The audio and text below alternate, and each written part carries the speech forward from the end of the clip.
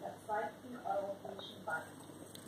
Und das sind Kredite, die so nicht zurückgezahlt werden können und nun die überreife Produktivschimmeln in die Bilanzen der Banken und drohen ganze Geld in die In Italien war es zuletzt